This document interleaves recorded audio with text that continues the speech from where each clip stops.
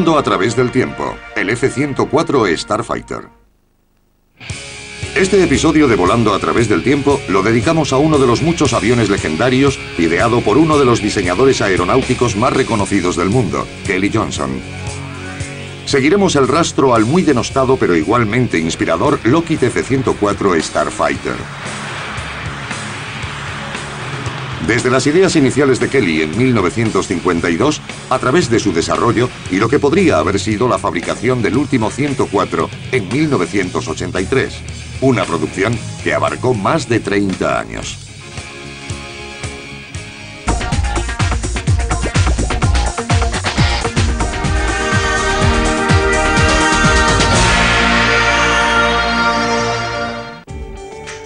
Kelly Johnson llegó a la Lockheed en 1933 y fue el sexto ingeniero contratado por la joven empresa. Había llamado la atención de los técnicos de la compañía, trabajando como supervisor de pruebas en el túnel de viento para Electra, en la Universidad de Michigan. Sus conocimientos e ideas constructivas en el bombardero Electra y más tarde en el Hudson lo llevaron a ascender rápidamente dentro de la empresa. El bombardero Hudson, diseñado en solitario por Kelly a los 29 años, fue remodelado en pocos días en la habitación de su hotel para cumplir las especificaciones británicas del pedido de Lockheed, que llegaría hasta 3.500 unidades. Su historial de logros es asombroso, como el haber intervenido en unos 40 de los más renombrados aviones del mundo, y la mitad de ellos fueron diseños originales suyos.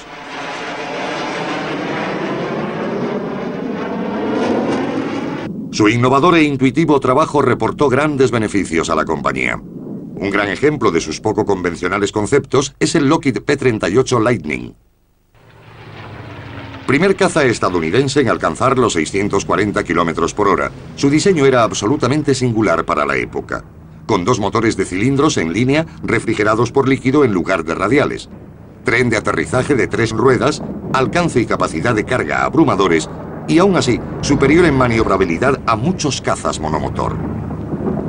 El concepto de fuselaje de doble cuerpo estaba en completa contraposición con las ideas de la época y hacía de él un diseño atrevido.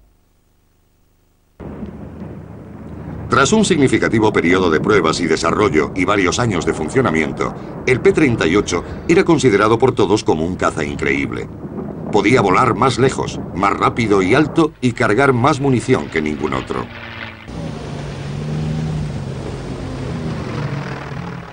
Tras la guerra en el Pacífico, la carrera por desarrollar aeronaves militares hizo un alto en favor de los aviones domésticos y el desarrollo de motores de reacción. Sin embargo, con el estallido de la guerra de Corea y los apabullantes resultados del MiG-15 ruso, muchos se sorprendieron por el desarrollo de la aviación soviética. Los pilotos estadounidenses volando en los Sabre, acostumbrados a su supremacía aérea, estaban siendo progresivamente superados por los MiG-15. Los proyectos futuros de Lockheed vacilaban entre el uso de motores existentes en aviones más ligeros o aeronaves más pesadas y potentes, basadas en los nuevos motores de reacción. Durante su visita a Corea, Kelly Johnson no tuvo dudas sobre los requisitos del siguiente paso. Los pilotos de Estados Unidos con los que habló querían un avión con parámetros mucho mejores de velocidad, altitud y ascenso. Con la necesidad de llegar más alto y más rápido, Kelly se decidió por un caza ligero diseñado para vuelo subsónico y combate supersónico a gran altura.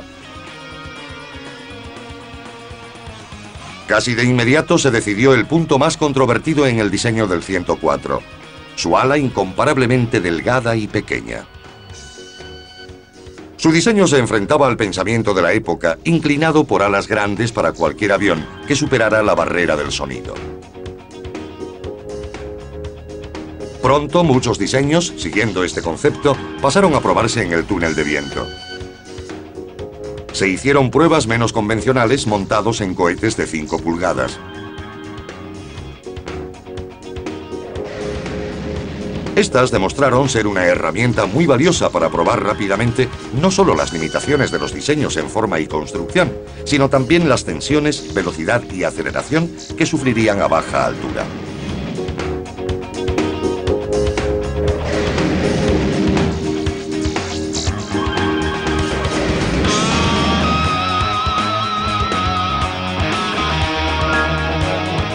Siguiente punto en la controversia sobre las alas es que éstas debían ir unidas a ambos lados del fuselaje con fijaciones de aluminio de precisión, en vez de atravesar la estructura como en la mayoría de los aviones de la época.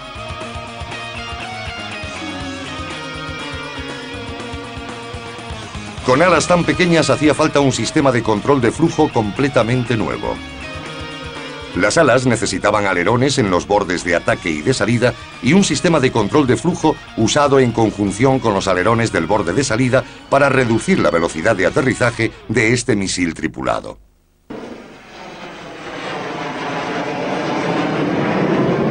El primer paso en su producción fue la construcción del fuselaje del modelo a escala real y la creación de la estructura sobre la que descansaría todo el avión. Dado que la Fuerza Aérea no había firmado ningún pedido del 104, de no haber sido por la credibilidad de Lockheed y Kelly Johnson y por las lecciones aprendidas en Corea, el 104 podría no haberse fabricado nunca. Quedaron impresionados y percibieron una necesidad lo bastante grande para solicitar pruebas de prototipos bajo un contrato experimental. En marzo de 1953 se aprobó el contrato y Lockheed comenzó la producción de los dos primeros prototipos. El primer vuelo tuvo lugar solo 12 meses después de la firma. Los logros durante aquellos 12 meses fueron impresionantes.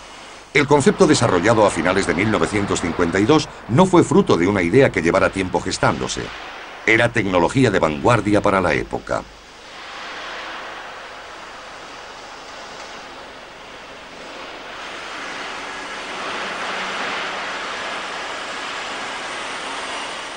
El 4 de marzo de 1954, el 104 hizo su primer vuelo oficial de prueba. Tras una extensa secuencia de pruebas de los controles de vuelo, el piloto Tony Leviar lo puso en el aire por primera vez.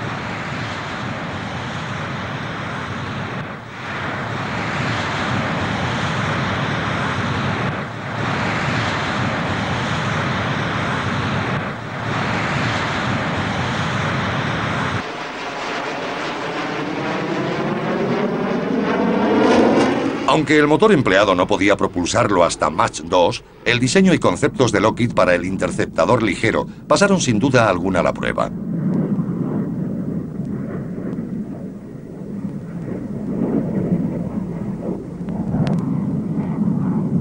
A pesar de que los prototipos no lograron alcanzar velocidad Mach 2, la Fuerza Aérea de Estados Unidos hizo un pedido de 15 más con motores mejorados que pasarían a llamarse F-104A.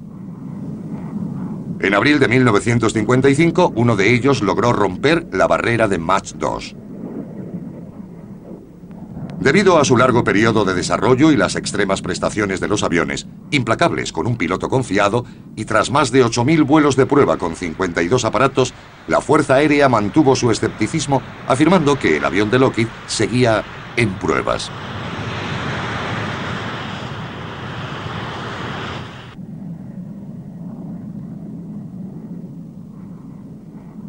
Los contratos suscritos fueron los primeros que responsabilizaron enteramente al creador. Anteriormente, el ejército del aire asumía parte de las pruebas. Con la tecnología punta del 104, la responsabilidad le fue devuelta al fabricante.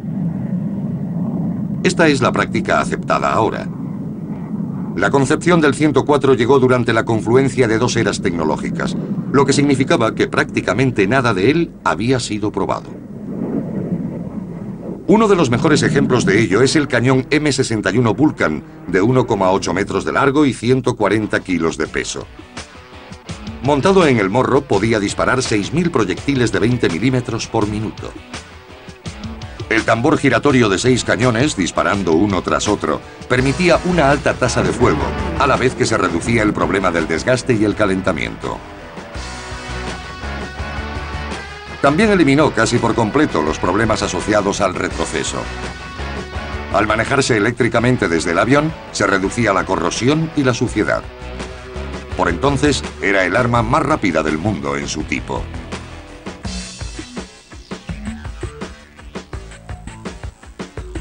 No había comparación posible con la ametralladora múltiple de la época, porque el Vulcan era superior por un gran margen.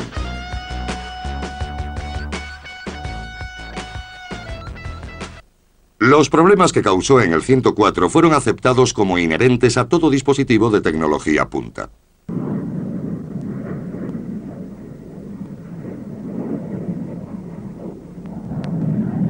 En un primer ensayo del cañón, el piloto Tony Leviar, tras una perfecta prueba inicial, pasó a la siguiente fase. Al disparar, el avión perdió toda su potencia. Se vio forzado a planear hacia tierra y pronto se encontró por debajo del nivel de seguridad para usar el asiento eyectable.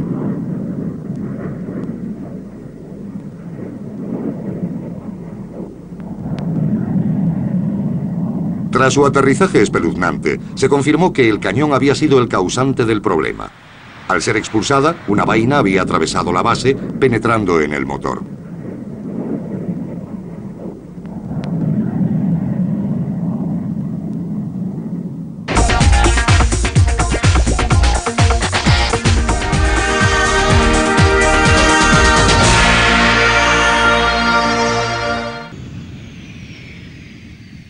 El rendimiento tan extremo del avión y su mayor capacidad armamentística y táctica, ahora era el patrón por el que se mediría al resto.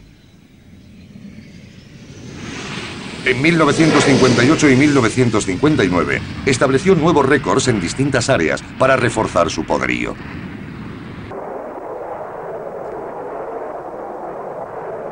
Incluso cuando el nuevo Phantom F-4-2 batió algunos de ellos, el 104 lo restableció lejos de las posibilidades del F-4.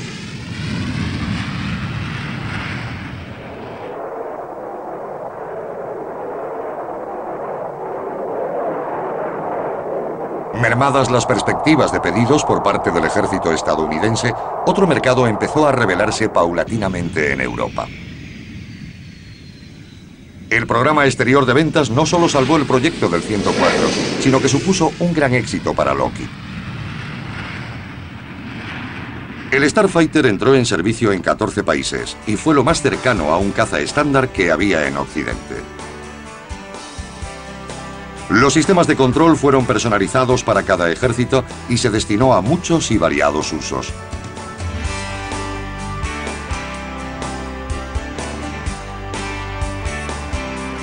Un diseño que salvó al 104 fue el modelo biplaza. Los cazas de Estados Unidos solían incluir una versión de dos plazas para reconocimiento o entrenamiento, y el Starfighter no fue una excepción.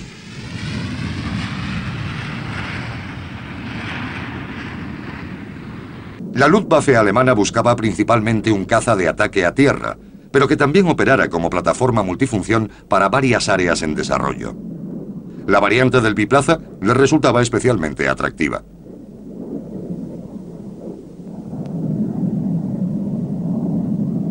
Otras muchas capacidades del diseño original que fueron deliberadamente omitidas estaban siendo consideradas ahora. Mientras la OTAN buscaba estandarizar sus fuerzas aéreas, el pedido alemán se veía como una apertura de este mercado para Lockheed.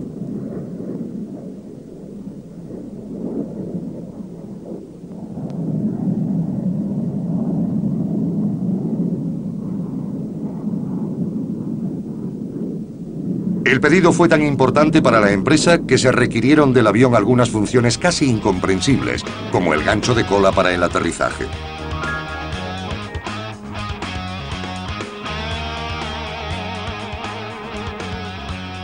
El Starfighter no tenía problemas para soportar la desaceleración rápida forzada, pero el reto para los pilotos era otra cosa muy distinta.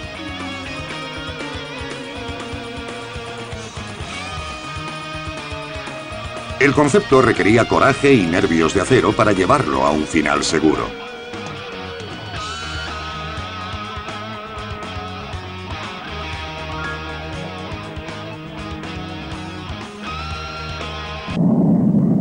Otro extra más explicable era la capacidad para repostar en vuelo, un requisito prosaico para casi cualquier caza actual.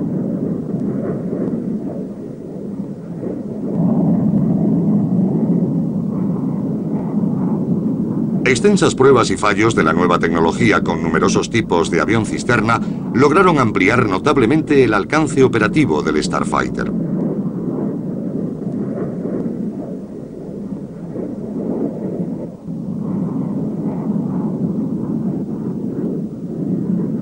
La estrategia comercial de Lockheed haría que los Starfighter se fabricaran en distintas factorías de grupos europeos.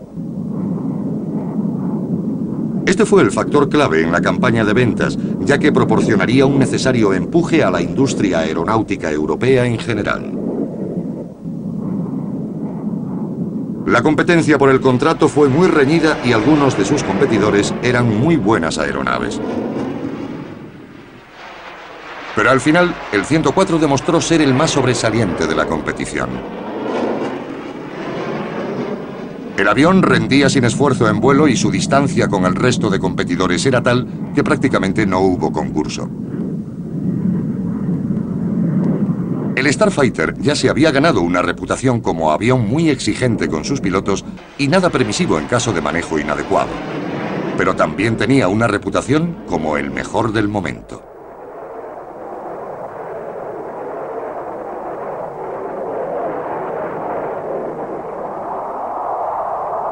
Un 104 bien mantenido en manos de un piloto formado daba muy pocos problemas. Pero si era manejado por personal no adiestrado, ocurrían muchos accidentes.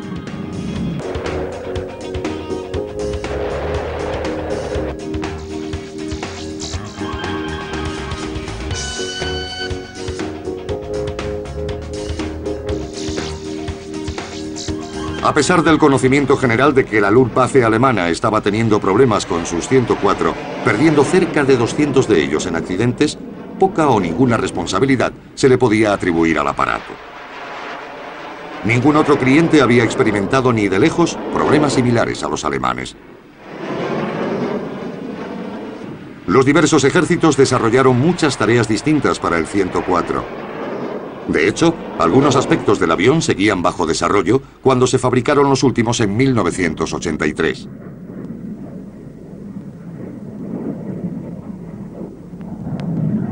Cuando la Fuerza Aérea de Estados Unidos decidió no tener el 104 como parte fundamental de su flota, se decantó por otros muchos cazas. Todos eran aviones más grandes que compartían tecnología punta con diverso grado de éxito.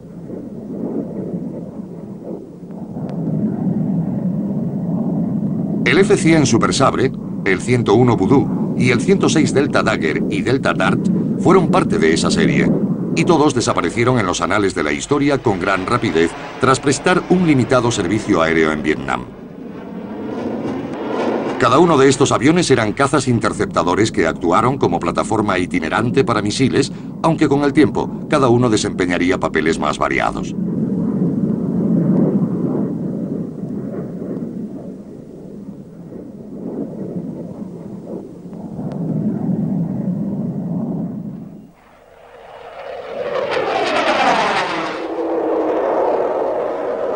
La aviación rusa también aprendió mucho de la guerra de Corea. Su sobresaliente MiG-15 se había desarrollado en muchas líneas diferentes hasta convertirse en el MiG-17. Este fue diseñado como interceptador de corto alcance con muy altas prestaciones, capacidad ascensional y de giro. Los MiG-17 eran en realidad una actualización del 15 con alas más anguladas y mejor manejo.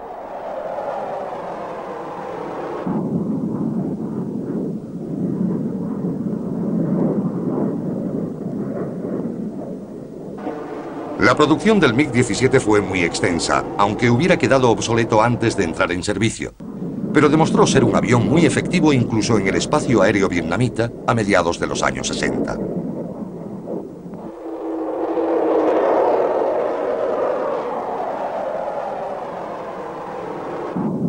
Resulta dudoso saber si los aviones de esta época habrían igualado al 104.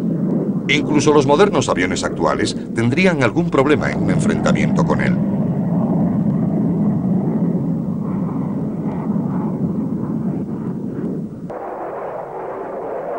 El 104 sería rediseñado más tarde con alas mayores y mucha más maniobrabilidad como Lancer.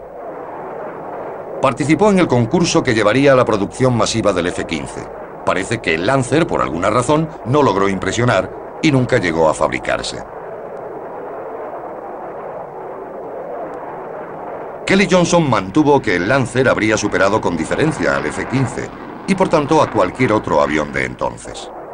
Incluso hay una corriente de opinión que afirma que en combate aéreo el 104 daría más de un problema al F-15. Aunque el último Starfighter se construyó en 1983, este avión excepcional sirvió durante muchos años, hasta ser finalmente retirado de servicio a mediados de los 90.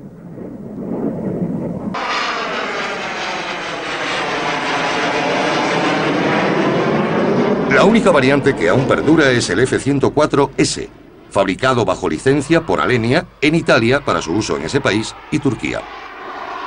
A pesar de la edad del F-104, el modelo S ha demostrado ser económico, fiable y popular entre los pilotos, adentrándose de este modo en el nuevo siglo.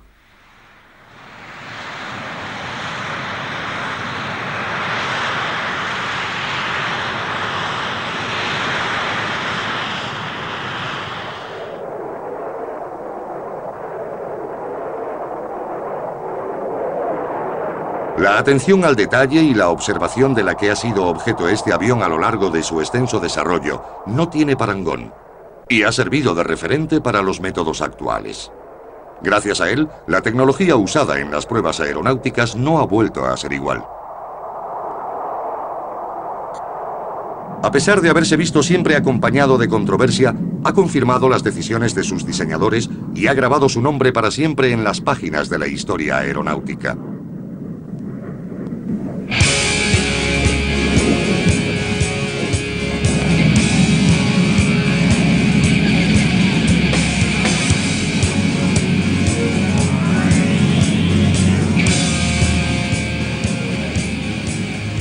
Vea el siguiente episodio sobre las aeronaves que han destacado en nuestra corta pero fascinante historia de la aviación. Únase a nosotros y conozca la gente, los aviones y las compañías que han creado las máquinas más avanzadas tecnológicamente del mundo.